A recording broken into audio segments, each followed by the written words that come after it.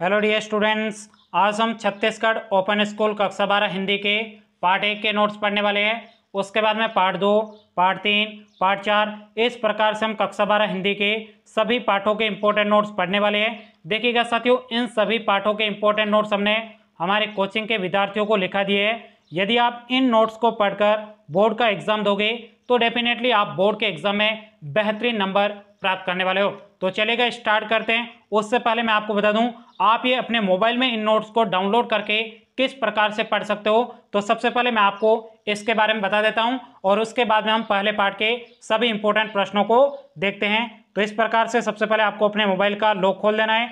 उसके बाद में ये हम यहाँ से लॉक खोल देते हैं। उसके बाद में आपके मोबाइल में आप देखोगे तो यहाँ पे इस प्रकार से आपको गूगल लिखा हुआ दिखाई देगा। इसके ऊपर आपको क्लिक करना है।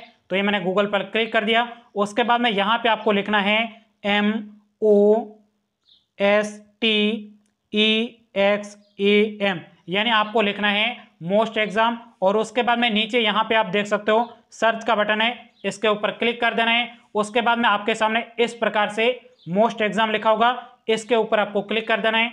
तो ये मैंने क्लिक कर दिया। उसके बाद में आपको थोड़ा स्क्रॉल करना है। और यहाँ पे आप देख सकते हो लिखा है छत्तीसगढ़ राज्य ओपन स्कूल और उसके बाद में यहाँ पे आप देख सकते हो छत्तीसगढ़ ओपन स्कूल कक्षा दस एंड कक्षा बारह नोट्स एंड एडमिट कार्ड उसके आगे आपके देख सकते हो यहाँ पे क्लिक लिखा हुआ है, इसके ऊपर आपको क्लिक कर देना है।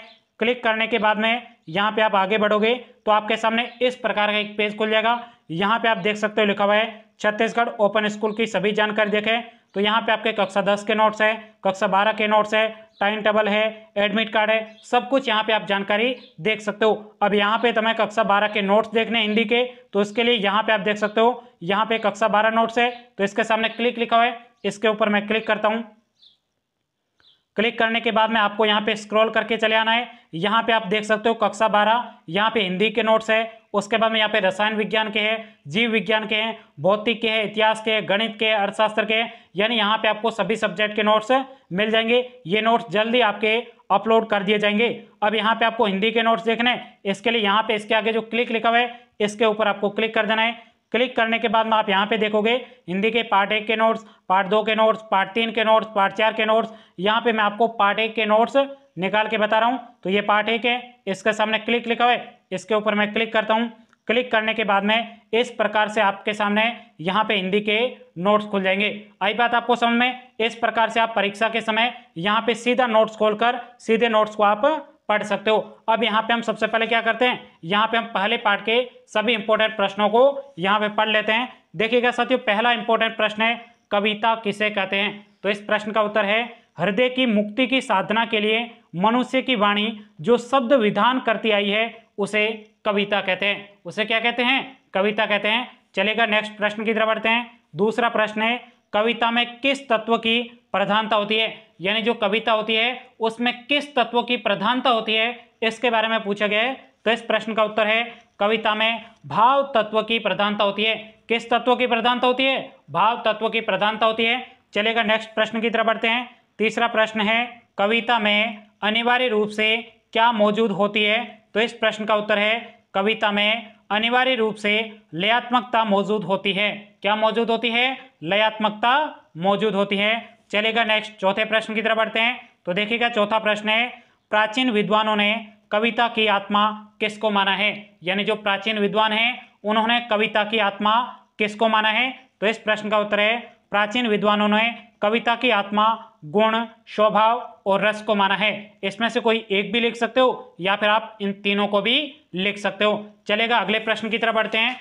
तो देखिएगा, अगला हमारा पांचवा प्रश्न है कविता के प्रमुख दो अवयों के नाम लिखिए थोड़ा दिखाई नहीं दे रहा चलिए अब ठीक कर लेते हैं। कविता के प्रमुख दो अवयों के नाम लिखिए तो इस प्रश्न का उत्तर है, कविता के प्रमुख दो अवयों के नाम निम्नलिखित है। पहला है आपके भाव पक्ष और दूसरा आपके कला पक्ष कौन कौन सा है? पहला आपके भाव पक्ष है और दूसरा आपके कला पक्ष है। देखिएगा साथियों, अभी तक भी आपने इस वीडियो को लाइक नहीं किया है तो वीडियो को लाइक करेगा चैनल पे पहली बार आए हो, नीचे लाल अक्षरों में सब्सक्राइब लिखा है, उसके ऊपर क्लिक करके आप इस चैनल को ज़रूर सब्सक्राइब करेगा क्योंकि आपको इस चैनल पर कक्षा बारह के सभी विषयों के, हमारे कोचिंग में जो हमने विद्यार्थियों को इंपॉर्टेंट नोट्स लिखे हैं, वो इंपॉर्टेंट नोट्स यहाँ पे आपको बिल्कुल फ्री में मिलने वाले तो चलेगा बढ़ते हैं नेक्स्ट छठे प्रश्न की तरफ़। देखिएगा, छठा प्रश्न है, कविता को पढ़ते समय किन किन बातों का ध्यान रखना चाहिए?